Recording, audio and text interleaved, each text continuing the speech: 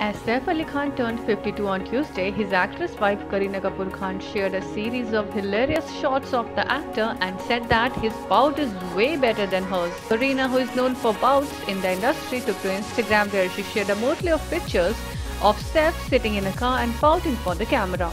Alongside the picture, she penned an adorable note for him. She wrote, Happy birthday to the best man in the world. You make this crazy ride crazier and God, I wouldn't want it any other way. These pictures are the proof. I love you, my John, and I have to say your pout is way better than mine. What say guys? Hashtag birthday boy.